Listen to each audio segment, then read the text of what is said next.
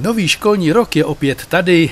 Školáci zasedli do lavic a školní povinnosti jsou často povinnostmi nejen pro ně, ale také pro jejich rodiče.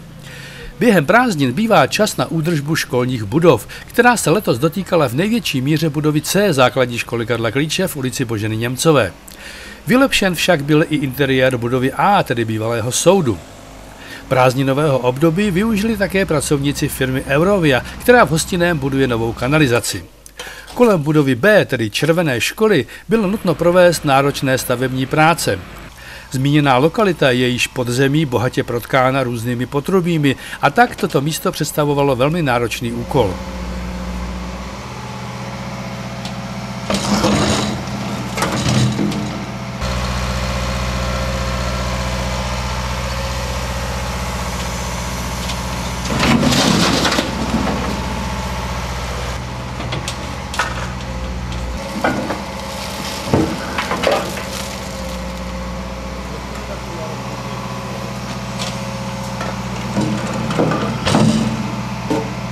Ještě pár dní před zahájením školního roku to vypadalo, že se práce nestihnou vykonat, ale všechno šlo podle plánu a prostor kolem školy byl nakonec i vyasfaltován, aby noví prvňáč si se svými rodiči mohli přijít do školy po bezpečné cestě.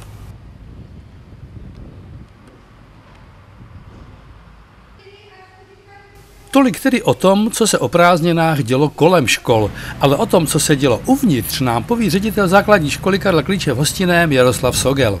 Základní škola během července a srpna byla vlastně ve stádiu rekonstrukce. Největší rekonstrukční práce jsme prováděli a stále ještě provádíme na budově C v ulici Boženy Němcové, kde došlo ke kompletní rekonstrukci šaten pro žáky, došlo k odstranění vlhkosti, byly zde vybudovány nové omítky, nové předěly mezi jednotlivými šatnami a v současné době rekonstrukce pokračuje v suterénu, v technických skladových prostorách školy a zvenčí školní budovy, kde se odstraňuje stávající vlhkost. Bude provedena kompletní venkovní kanalizace, včetně drenáží.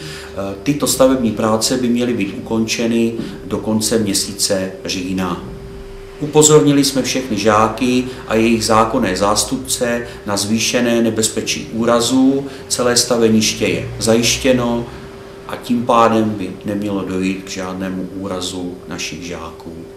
Na budově A, budově, ve které se momentálně nacházíme, byla provedena během měsíce července kompletní výmalba společných prostor.